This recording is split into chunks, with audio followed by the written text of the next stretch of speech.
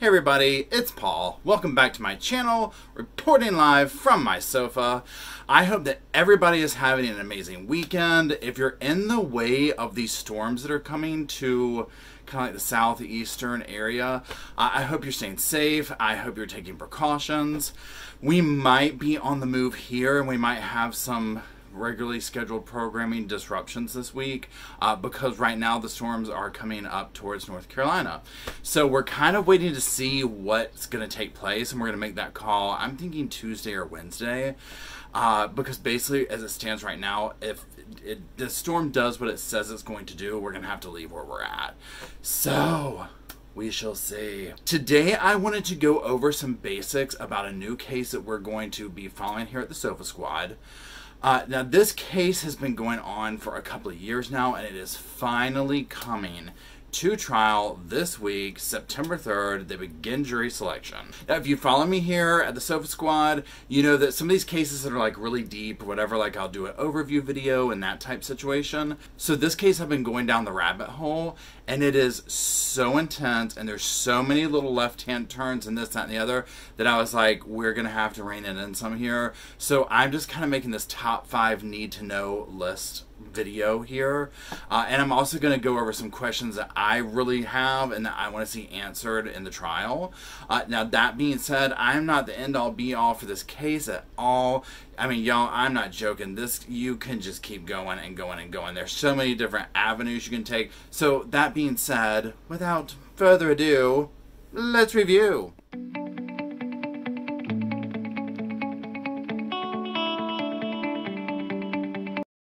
So, number five, who is Brooke Skylar Richardson? Now, Brooke Skylar Richardson, she goes by Skylar to basically people that know her really closely. She's 20 years old now. Uh, she's from Carlisle, Ohio, and she lives with her parents and her brother there. And she was turning 18 during the time of this incident. Uh, she was a cheerleader at her high school. She was scheduled to go to the University of Cincinnati, where she's going to study, I believe, psychology. And for the most part, she was like any other teen. I mean, she even worked with kids at like the daycare at YMCA, I believe. Uh, now, she did have some eating disorders, and we're going to go over that later because it's going to play a role in this, I think. So let's go on to the next one. Number four. What is she accused of? So, just days after prom, prosecutors alleged that Skylar gave birth to a baby, deliberately killed it, and buried it in the backyard there is some talks about having burned the corpse and that's going to be an issue that we're going to go over here in just a minute so the charges against her are gross abuse of a corpse, aggravated murder, involuntary manslaughter, endangering children, and tampering with evidence. So she's got a, a huge stack going against her right now. Uh, she could be facing the rest of her life in prison with these charges. So these are nothing to scoff at. Uh, let's keep going on now. So number three is going to be a major one. How did she get caught? So this one's complicated. She went to her first OBGYN appointment, and during that appointment is when she finds out that she's pregnant. Now, her her mother apparently like took her to the appointment. Her mother's out in the waiting room, and now uh, we're gonna go ahead and slap allegedly on a lot of this stuff because this is one of the questions that I'm like, uh, I I've got some questions about this, and I'll get to those at the end of the video. But just you know, allegedly. So the family alleges that Skylar, you know, went to the doctor and it was basically like, look, you know, she was getting a prescription for birth control, and she's like, my mom's in the waiting room, and she is expecting, a, you know, she is expecting this prescription, so just give me the prescription so that I can, you know, have time to adjust, whatever. The doctor allegedly writes the script for her. Skylar goes on her way, yada, yada, yada. She goes to the prom, she keeps going about. Well, then she has a follow up appointment and she sees like another doctor there, and basically they look at the chart and they're like, well, what happened with the pregnancy? And at this point, allegedly, Skylar breaks down and it's like, oh my gosh, and kind of says like what happened, like I had a stillbirth and I buried her in the backyard and so on and so forth. So on July 20th, 2017, this doctor called in the tip to the police about like a patient having uh, a, stillborn child, and that kicked off everything. Number two, the body may have or may not have been burned. This is a huge thing with this, and again, it's one of the questions that I'm just like, I, I really want to hear from the horse's mouth on this. So essentially, what happened is at first, uh, a forensic anthropologist, Dr. Elizabeth Murray, uh, she initially claimed that the, the bones had been charred. So basically, it looked like Skylar gave birth, she killed the child, and burned the body and buried it in the backyard. Well, then later, she basically recanted that and says, no, I don't believe the body was burned. So there's other layers to that, but I don't want to go into it here because it's it, it's so contorted and the rabbit hole so deep, and we're getting ready to hear it. Hopefully, you know, on the stand. So I want to wait to hear from that. But obviously, you know, if you're the defense, you're just like, I mean, it sounds really grisly. I'll just be honest. I mean, when you start talking about she she burned this newborn baby's body, I mean, that's very chainsaw massacre It's very grisly. So the defense actually tried having the case dismissed once that statement was recanted, and obviously it didn't happen. The case is still going forth. So, but the defense isn't happy about that. So, obviously. So, let's go on to the last one. So, number one the huge question why did she do it? We're going to give two versions here, and again, one of them is through the family, one of them is through the state, and somewhere in between probably lies the truth. So the first one is we're going to go with what the family's saying, and essentially her family and friends and stuff, and they're essentially saying that she gave birth to this baby. Uh, she was waiting for it to make some signs of life. That didn't happen. And she was basically afraid to disappoint her family, her friends, all these people. So she went and buried the baby in the backyard and kind of went on her way. Now, I have lots of questions if that's the case. And again, we'll get to the questions in a second. The prosecutors are essentially saying that Skylar was 18. She had just graduated. She was going to University of Cincinnati. You know, and the image was a huge thing for her and her family. And so that essentially she didn't want to have this kid and made that very clear to the doctor.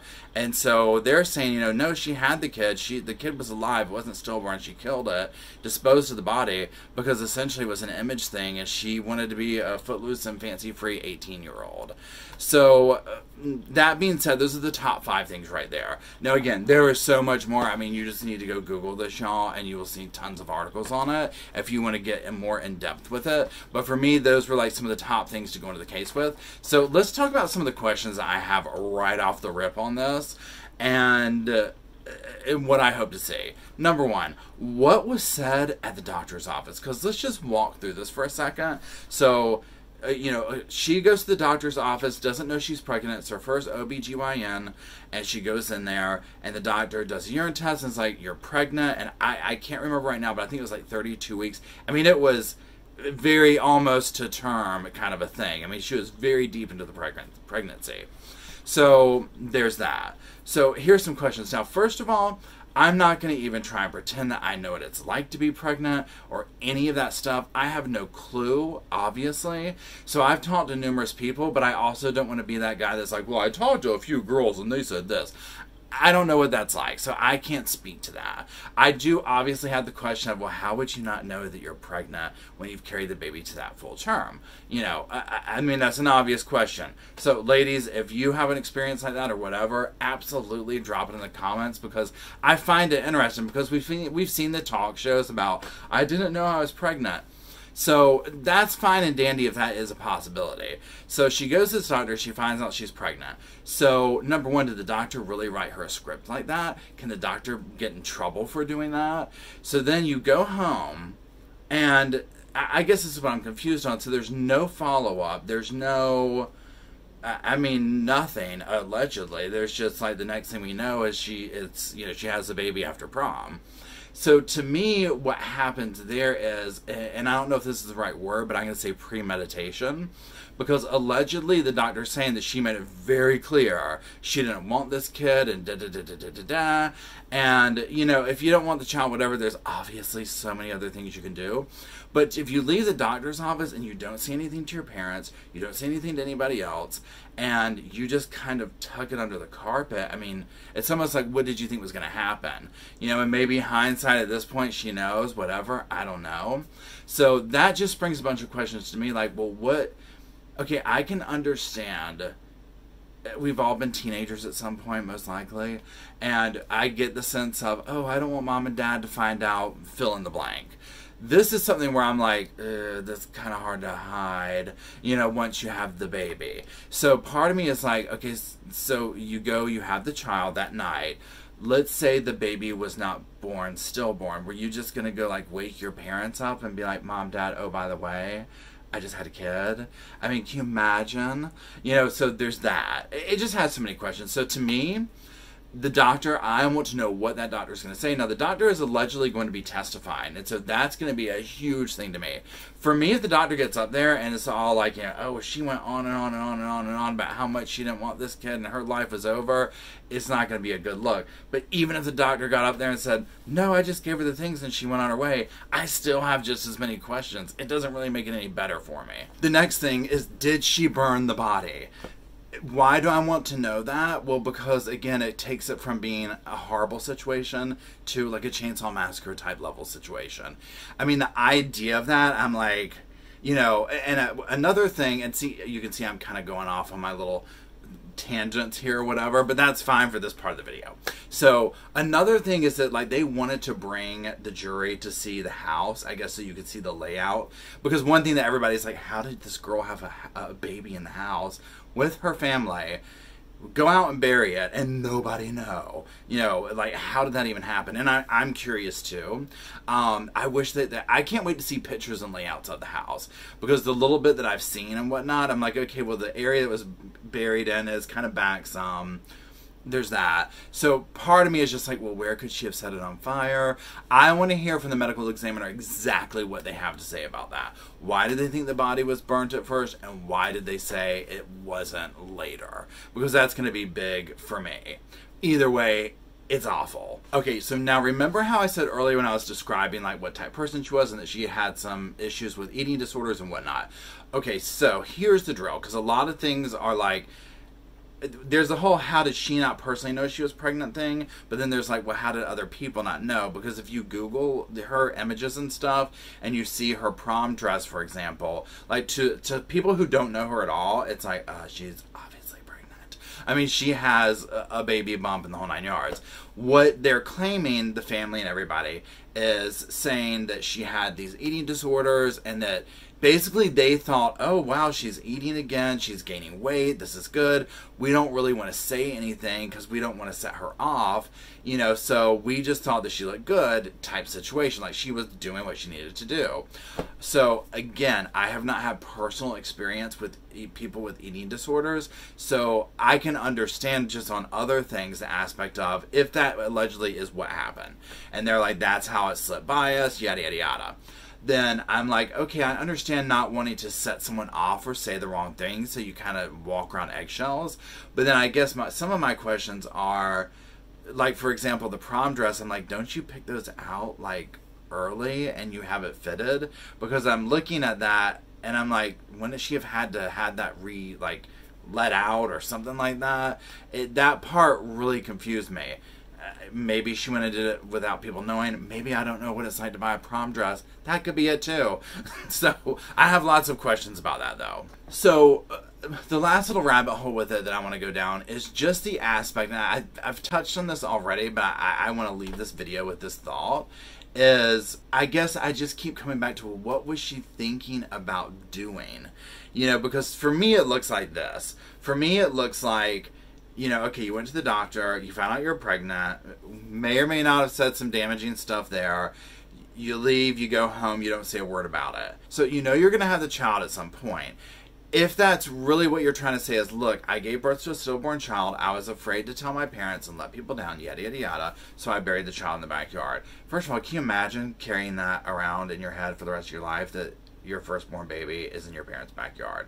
I'm sure it would have been found the remains at some point. I mean, I just don't know how that could be. But um I guess my next question is, well, what what's going on in that household that you don't feel comfortable enough to go to your parents? And I understand parent parental disappointment. I mean, that's some strong sauce right there. I get it. I've been there, done that. But there's some things that I'm like, you just gotta. I mean, you can't get past that. You know what I mean? Like giving birth to another human being, you're going to have to get past that and suck it up and be like, you know, this is what happened. So I guess that that would be my next question. Like, well, if, if pretend that we we all watch the trial that goes up there, they prove without a shadow of a doubt, nope, she it was a stillborn child and she was just nervous. You know, she didn't want to talk about it. So first and foremost, I think that you can still be, you know, held accountable. I mean, that's not really right. You know what I'm saying? So there's going to be charges that she's still going to get hit with, in my opinion. But then my next question is, well, what's going in that household that to the point that you can't go to your parents with that take out disappointing them all that i mean this is major you know and if it turns to, does turn out that there was the baby was born living and that you know not great things were done to the child even more so that was worth you know what i mean like another human life was worth avoiding this over here which was either public scrutiny, disappointing your parents, mom and dad getting mad, whatever. So that's it. I could sit here and keep talking and going on and on. So what we're going to be doing is this: we're going to be following this trial here at the Sofa Squad, and I, am going to do my little daily commentaries, things that nature. Now, like I said, if the tornado, tornado, if the hurricane comes here, obviously there's going to be a chill pill, so just hang tight. Um, but if you want to watch this along with me, I'd love for you to. I appreciate you hanging out with me today. And uh, that's it. I will talk to you all soon. Bye.